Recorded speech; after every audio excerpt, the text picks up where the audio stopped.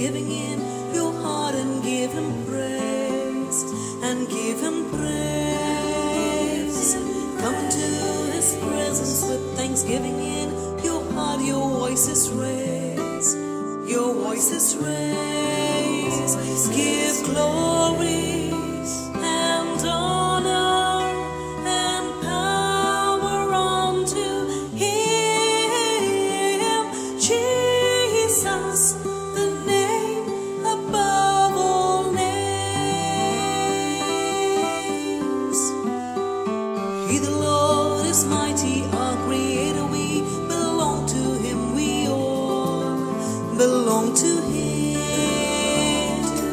Oh, that all of us today should listen to his voice with open minds and with our hearts. Give glory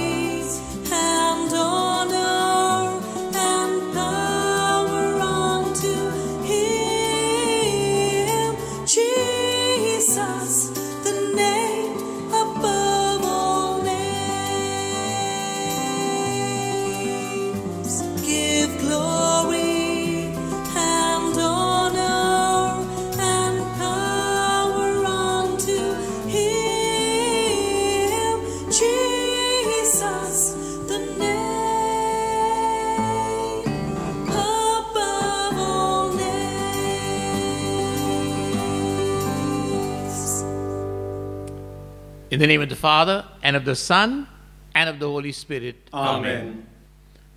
The grace of our Lord Jesus Christ, the love of God, and the communion of the Holy Spirit be with you all. And with your spirit. Hearty welcome to the Eucharist once again, my dear sisters, my dear brothers, my dear families, you children. Hearty welcome, and I believe some deacons, permanent deacons, are also. Hearty welcome to you too.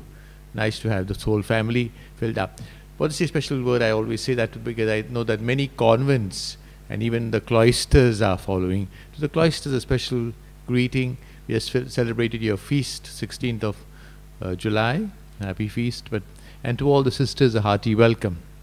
Today is the feast of Saints Joachim and Anne, parents of our mother, Our Lady, and so we thank them for for uh, having prepared the best gift Jesus could receive, uh, Mary as his mother.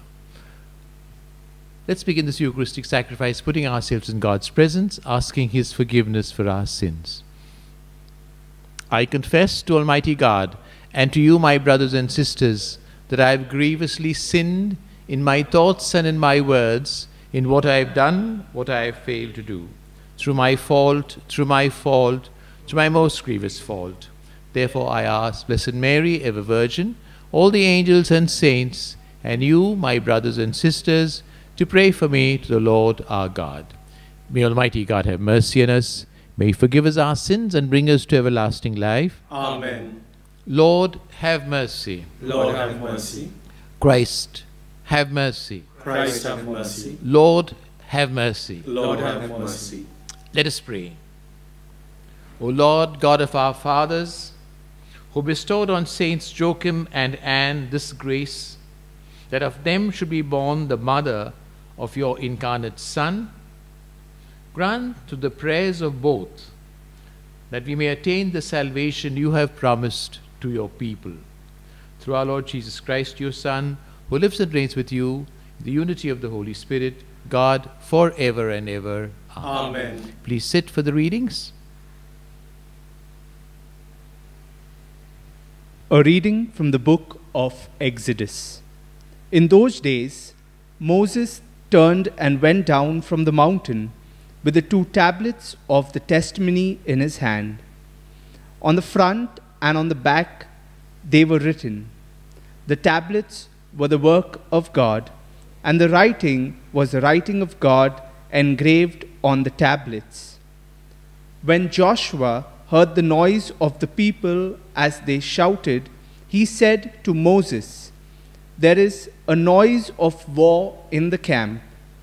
But he said, It is not the sound of shouting for victory or the sound of the cry of defeat, but the sound of singing that I hear.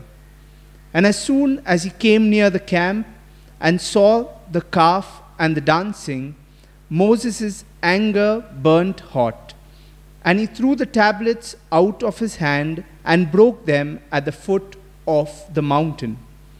He took the calf that they had made and burnt it with fire, and ground it to powder and scattered it on the water, and made the people of Israel drink it.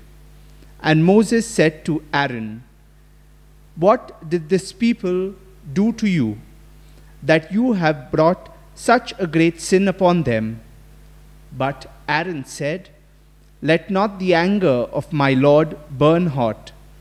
You know the people that they are set on evil. For they said to me, Make us gods who shall go before us. As for this Moses, the man who brought us up out of the land of Egypt, we do not know what has become of him. So I said to them, Let any who have gold take it off. So they gave it to me, and I threw it into the fire, and out came this calf.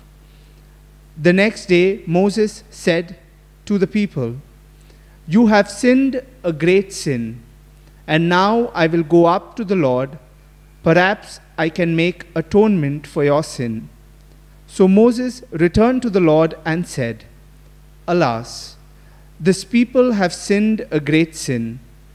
They have made for themselves gods of gold. But now, if you will forgive their sin, but if not, please blot me out of your book that you have written. But the Lord said to Moses, Whoever has sinned against me, I will blot out of my book. But now go, lead the people to the place about which I have spoken to you. Behold, my angel shall go before you. Nevertheless, in the day when I visit, I will visit their sin upon them. The word of the Lord. Thanks be to God. Our response is, O give thanks to the Lord, for he is good. Altogether, O give thanks to the Lord, for he is good. They fashioned a calf at Horeb and worshipped an image of metal. They exchanged their glory for the image of a bull that eats grass. Our response, O give thanks to the Lord, for he is good. They forgot the God who was their Savior, who had done such great things in Egypt, such wonders in the land of Ham, such marvels at the Red Sea. Our response, O give thanks to the Lord, for he is good.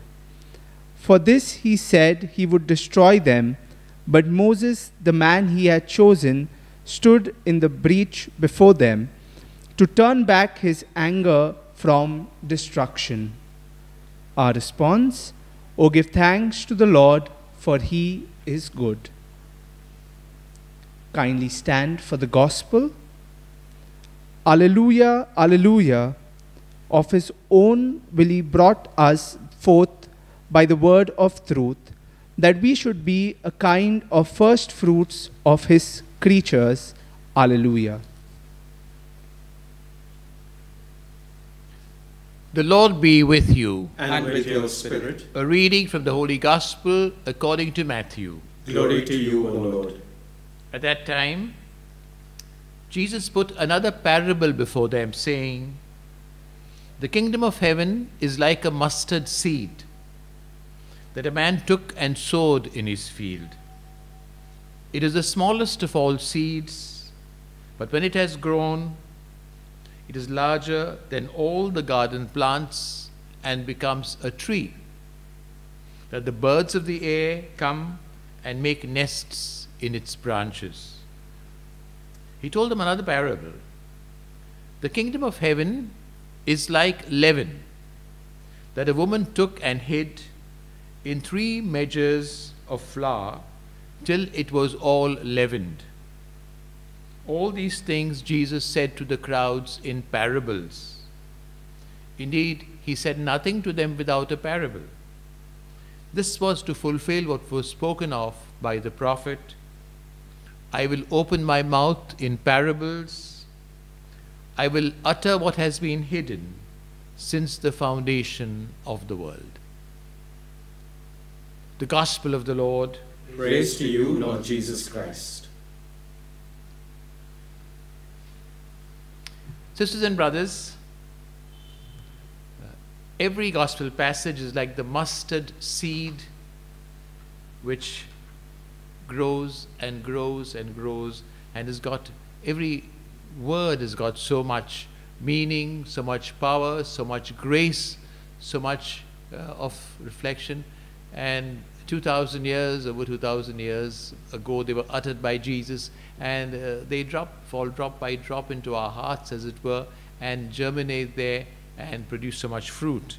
Um, I, as I was reading this, I remember the birds of the air is in this. Uh, birds of the air came and made nests in his branches. I wonder whether you know there was an association of uh, people, disciples of Jesus. Uh, uh, I met them. They were in South India, called Birds of the Air, and then they were really going out and working for the poor, working for the uh, people who are uh, distressed, etc., and and and living in community. But I want to go to the first reading uh, where we're continuing walking in Exodus chapter 33.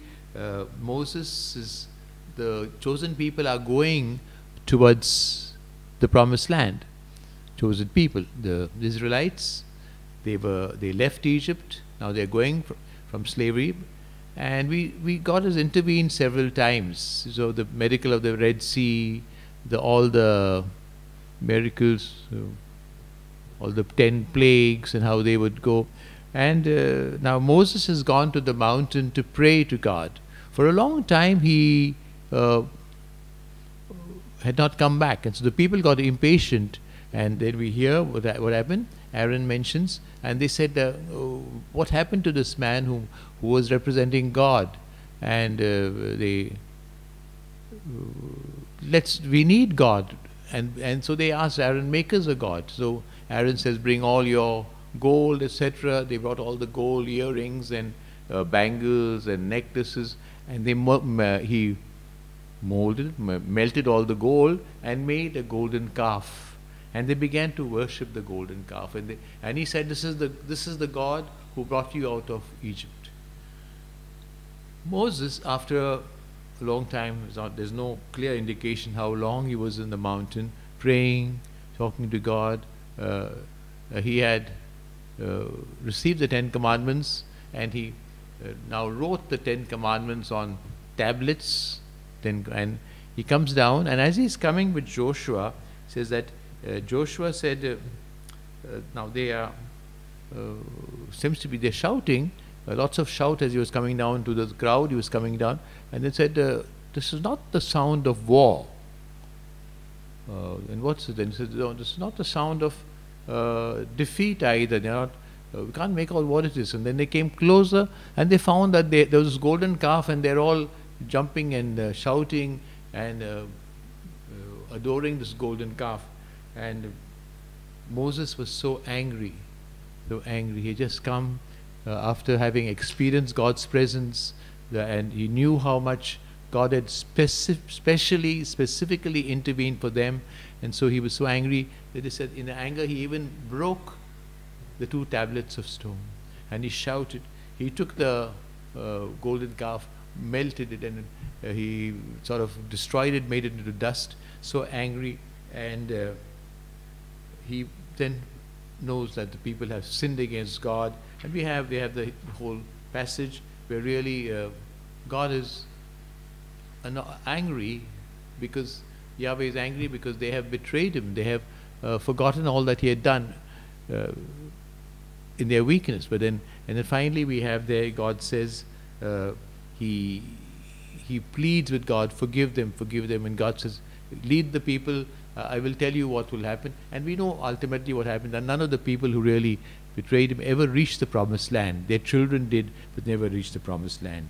And so we have this journey carrying on of how uh, we accompany them and learn so much from them, how we to ourselves sometimes uh, forget all that God has done for us in a moment of our weakness and and we adore false gods.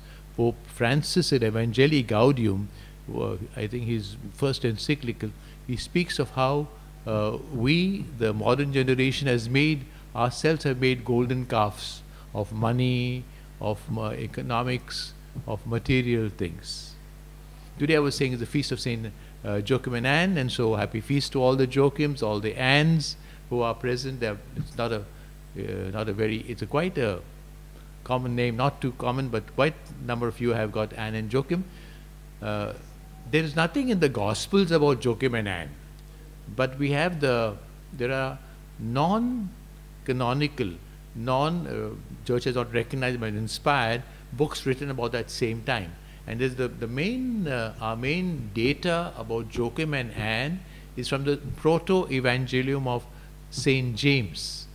And there they mention, uh, this is what is mentioned, and this has been a tradition among the Christians that uh, Joachim and Anne, uh, Anne means, this comes from the word Hannah, grace. So Anne meant grace, and uh, uh, Joachim means uh, Yahweh saves. So these two, the holy, I, I think that Joachim was working, was serving in the temple, but they had no children, and said there that then Joachim went to the desert and prayed for a child child was always a blessing from God. And uh, they finally he had a vision an angel who said, "Your prayer is heard, and you will have a child." And then Mary was born, Maria, uh, sort of uh, the the gift of God, grace of God. And so Maria, that's Mary was born, and uh, you can see how well they must have trained her for her to be so pure, sinless. Uh, our tainted nature's solitary boast uh, the poet says. We pray. So uh, we pray now to see. Today it's Parents' Day because they're the parents of Mary. So many places they have Parents' Day. In our own archdiocese, I think next Sunday we will celebrate uh, Parents' Day. But to the parents, uh, children wish your parents happy Parents' Day and uh, respect them, thank them, and let's pray for all the parents, especially the young parents, that they fulfill their tasks, their responsibilities uh, in a way that is worthy of this very great calling. God bless you.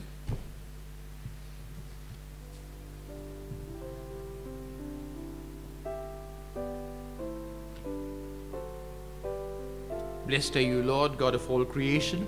Through goodness for this bread which we offer you, fruit of the earth and work of human hands, it will become for us the bread of life. Blessed be God forever.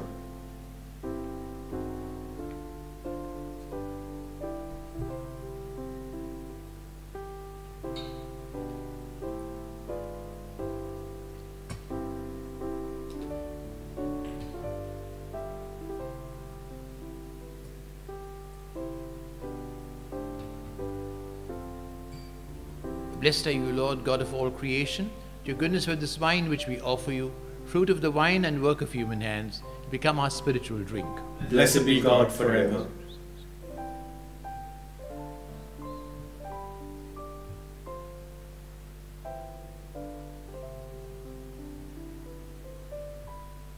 Pray, my brothers and sisters, that your sacrifice and mine may be acceptable to God, our Father in heaven. May the Lord accept the sacrifice at your hands for the praise and glory of his name, for our good and the good of all his holy church. Receive, we pray, O Lord, these offerings of our homage. Grant that we may merit a share in the same blessing which you promised to Abraham and his descendants. Make the spread through Christ our Lord. Amen. The Lord be with you. And with your spirit, Lift up your hearts. we lift them up to the Let us Lord. give thanks to the Lord our God. It is right and just. Truly right and just, our duty and our salvation, always and everywhere to give you thanks. Lord, Holy Father, Almighty and Eternal God, through Christ our Lord. For in the marvelous confession of your saints, you make your church fruitful with strength ever new, offer us sure signs of your love. And that your saving mysteries may be fulfilled, their great example lends us courage, their fervent prayers sustains us in all we do. And so, Lord, with all the angels and saints, we to give you thanks. In exaltation we acclaim.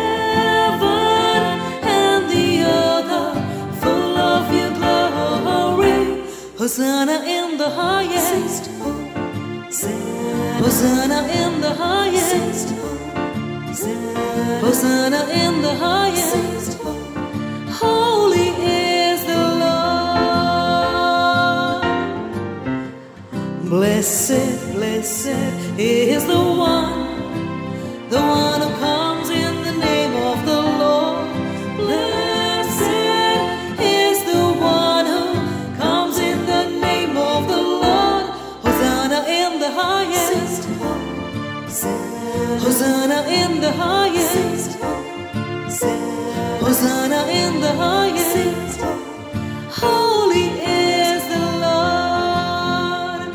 Holy is the Lord. Holy is the Lord. You are indeed holy, O Lord, the fount of all holiness.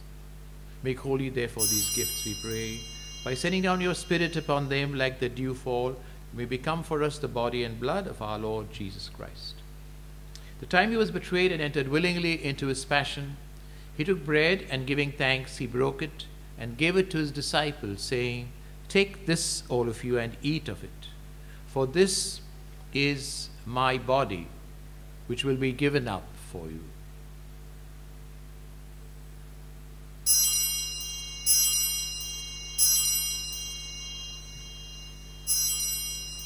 In a similar way, when supper was ended, he took the chalice. Once more giving thanks, gave it to his disciples, saying, Take this, all of you, and drink from it.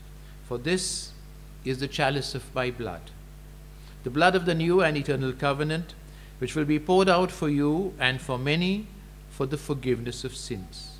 Do this in memory of me.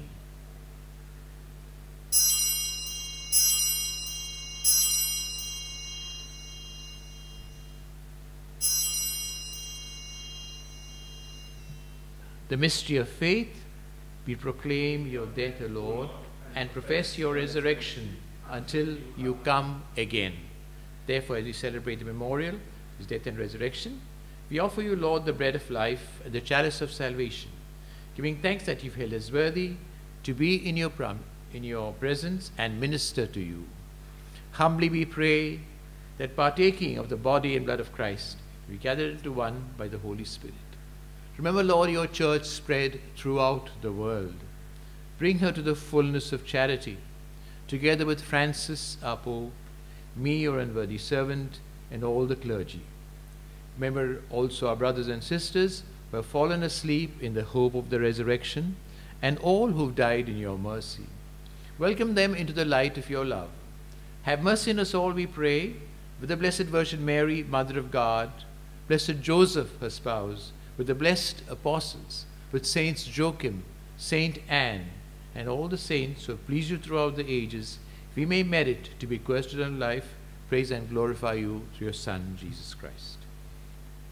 Through him, and with him, and in him, to you, Almighty Father, in the unity of the Holy Spirit, be all glory and honor forever and ever. Amen. Let us pray with confidence the Father in the words Jesus gave us. Our Father, who art in heaven, hallowed be thy name. Thy kingdom come, thy will be done on earth as it is in heaven. Give us this day our daily bread. Forgive us our trespasses, as we forgive those who trespass against us. Lead us not into temptation, but deliver us from evil. Deliver us, Lord, we pray, from every evil. Graciously grant peace in our days. In your mercy, keep us free from sin and safe from all distress, as we wait in blessed hope and coming of our Savior, Jesus Christ. For the kingdom, the power, and the glory are yours now and forever. Lord Jesus Christ, who said to your apostles, My peace I leave you, my peace I give you, look not on our sins, but the faith of your church, and graciously grant us peace and unity, in accordance with your will, who live and reign forever and ever. Amen. The peace of the Lord be with you always. And with your Offer the spirit. sign of peace. Christ's peace be with you. Lamb of God, you take away the sins of the world. Mercy on us. Lamb of God, you take away the sins of the world. Mercy on us. Lamb of God, you take away the sins of the world. Grant us peace. May this mingling of the body and blood of our Lord Jesus Christ bring eternal life to us who receive it.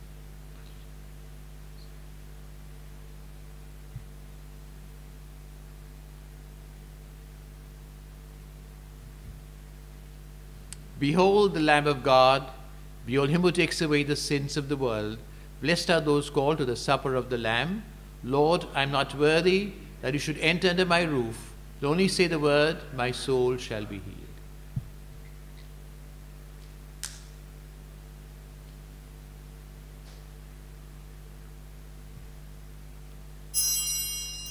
We now make our spiritual communion with the Lord. O Lord Jesus, since I cannot now receive you in your sacramental presence, I beg you to come spiritually into my soul, to enrich me with your holy grace, and make me truly your own forever. O Jesus, living in Mary, come and live in me in the spirit of your holiness, in the fullness of your power, in the communion of your mysteries, in the perfection of your ways. O divine guest, give to my soul a strong, lively faith, an unbounded trust, perfect humility, an abiding sorrow for my sins, a total abandonment to your divine will, and a perfect loving union with you in mind and heart. O sacrament most holy, O sacrament divine, all praise and all thanksgiving be every moment thine. Lord Jesus, thank you for the blessings and graces you have given me through this spiritual communion.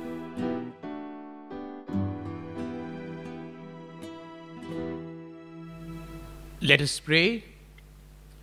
O God, who will that your only begotten Son should be born from among humanity, so that by a wonderful mystery humanity might be born again from you, we pray that in your kindness you may sanctify by the Spirit of adoption those you have fed with the bread that you have given your children. We make this prayer through Christ our Lord. Amen. The Lord be with you. And with your spirit. The spirit. mighty God bless you, the Father, the Son, and the Holy Spirit. Amen. The Mass ended. Let's go in peace to love and serve the Lord. Thanks be to God. Today is the beginning of the week, so have a lovely week ahead and uh, safe and comfortable and make sure that you follow all the protocols, no, no COVID for any of you. Uh, tomorrow again, I one of the new priests, and tomorrow you will see somebody you've been seeing regularly. Uh, it's uh, Father Kelvin Santis, who's my secretary. So he'll say ma- he'll be saying mass tomorrow, and I'll see you on Wednesday again. God bless you. Take care. Prayer for relief from the coronavirus. Almighty and merciful God, who show your love to all creation everywhere, hear graciously the prayers we make for all those affected by the coronavirus in various parts of the world. We come before you asking for an efficacious control of the outbreak, for a healing of those affected, for the victims and their families.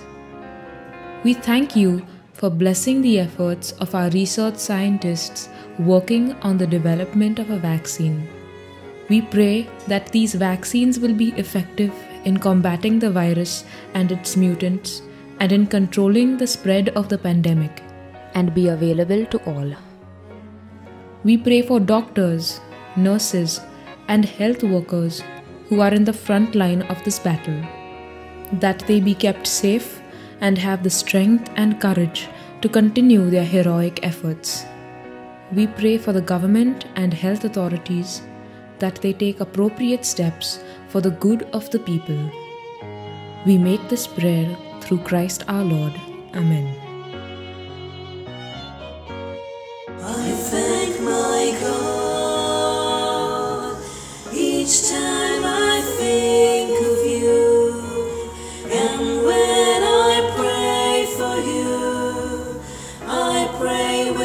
with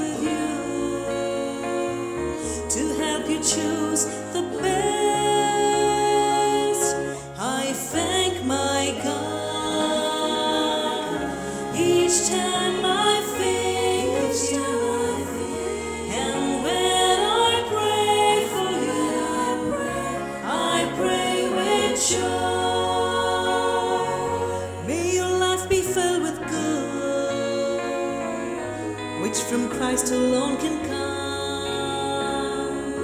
May your deeds from